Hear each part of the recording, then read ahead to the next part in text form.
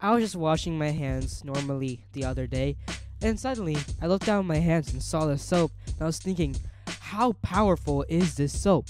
It's able to wash out bad germs and also wash out dirt and oil off my skin in just a 20 seconds. How is that even possible? And that's why I wanted to take a deep dive into the science of soap, how soap cleans so many things, and the chemistry behind how soap works.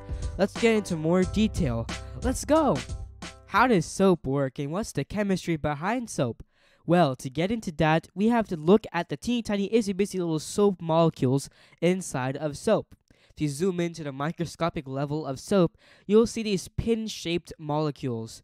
They look like sewing pins, and when you zoom in even more, you'll know that the head of that molecule is hydrophilic, and that means that it loves water, and the tail of that molecule is hydrophobic, which means that it does not like water and wants to get away from water at all costs. Well, how does this work? How is soap able to wash out all these things? Well, it's all thanks to these molecules. You see, the hydrophilic or water loving head is attached to the water, so it always wants to be with the water at any time. But then the hydrophobic tail of that soap molecule, which is the long part of the soap molecule, loves grease and oil and it's able to stick to the grease and oil very easily. And it's even able to trap the microbes and all the little germs. They have a mucus sort of layer around them, and even viruses and bacteria too. And they're able to attach into that and able to isolate the bad germs.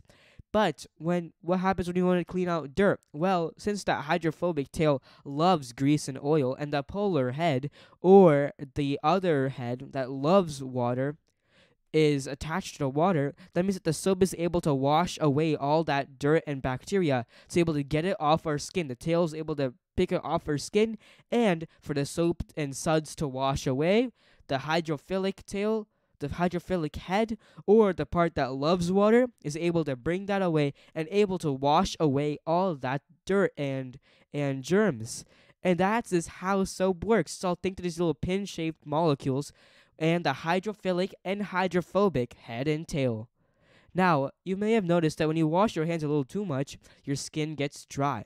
Why does that happen? Well, you know that hydrophilic, hydrophobic tail that I was talking about earlier? Well, that hydrophobic or that water fearing tail is attached to all the oil and grease on your hands, and your hand naturally produces oils to keep it moist. But when you wash your hands a little too much, and when you wash your hands very frequently, that means that the oils and the natural oils are getting wiped off, and your body's not able to make more of that oil in time. And that is why sometimes our skin gets cracked or dry when this when we wash our hands a little too much.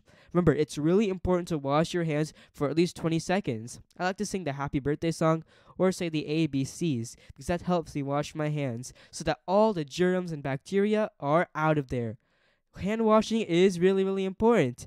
And it is so cool how soap is able to work at this very microscopic level. It is so amazing. Alright, let's review what we learned in this episode.